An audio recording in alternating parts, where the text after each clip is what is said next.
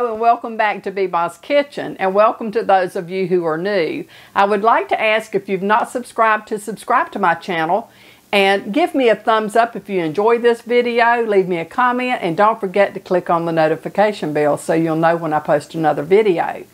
That being said now, I would like to tell you that I am going to cook cranberry walnut cookies. Um, this sounds really good to me. I love cranberries, I love nuts, and I love cookies. So I think with the three, you can't go wrong.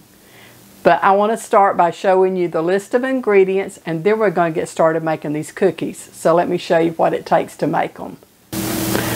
You will need granulated sugar, brown sugar, butter, milk, orange juice, egg, all-purpose flour, baking powder, cinnamon, salt, baking soda, dried cranberries, chopped walnuts, and confectioner's sugar. Okay, the first thing that I have to do, of course, is to preheat the oven to 375, and I have that done. So I'm going to cream my white sugar, brown sugar, and my butter all together in a large mixing bowl. So let's get that going. I have allowed my butter to come to room temperature so that it's good and soft. Okay, I have put in my butter, my granulated sugar, and my brown sugar, and I'm going to cream this together.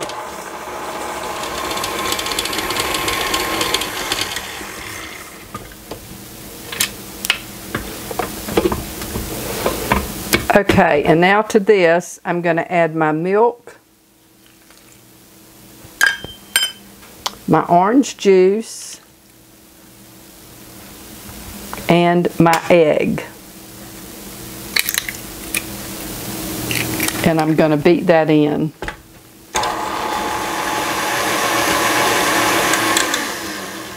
Now I will sift my flour, baking powder, cinnamon and salt and baking soda all together.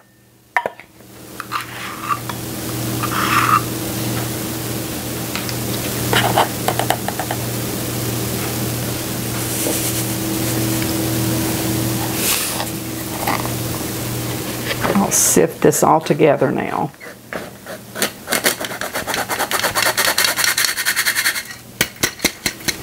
Okay, and now I will blend this in with my wet mixture.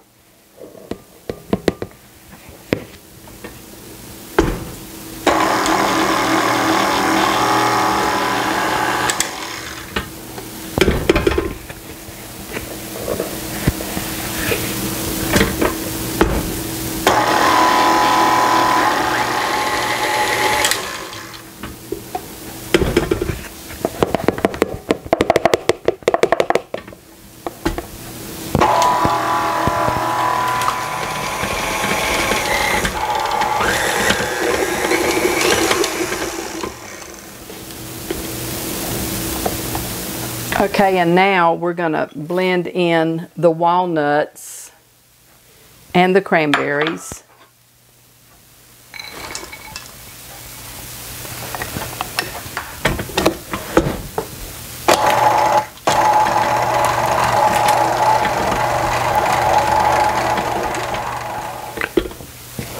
Okay, and so now I'm going to drop these with my small cookie scoop onto the cookie sheet that I've lined with parchment paper.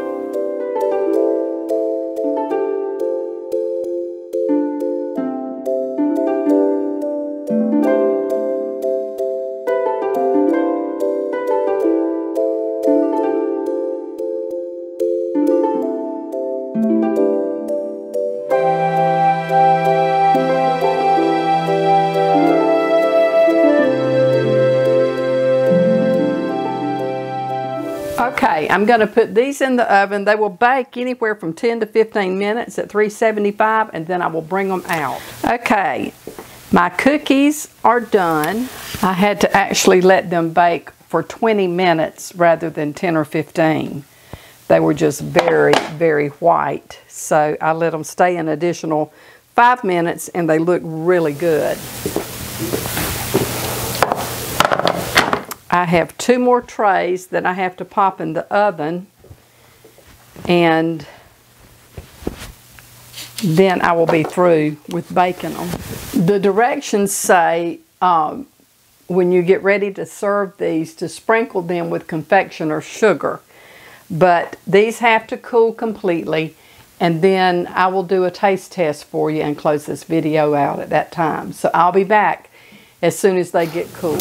Okay, um, I have transferred the cookies to a cooling rack and it's still a little warm, but you know how I am. I just love my cookies when they're warm. I love my cake when it's warm.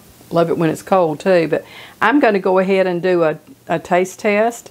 So it says to sprinkle it with confectioner sugar.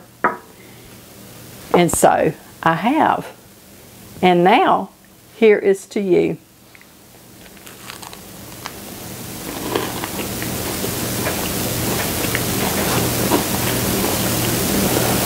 Mm. Oh my goodness. mm. Here I go again. I'm sorry. But it is so good. Oh my gosh, that is so good. I never made these before, but this is definitely a keeper. Um, it is so full of cranberry and with the walnuts and they're they're crunchy on the outside, they're kind of chewy on the inside. Oh my goodness. They are delicious.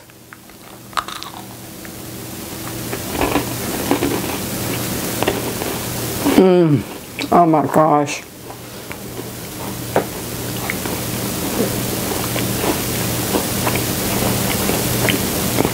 You really need to try these if you like cranberries. Those are so good. Well, I still have two trays in the oven, but I'm going to go ahead and close out this video. I hope you'll give this recipe a try. If you like cranberry and walnut, you will absolutely love these. They are delicious. I'm not kidding.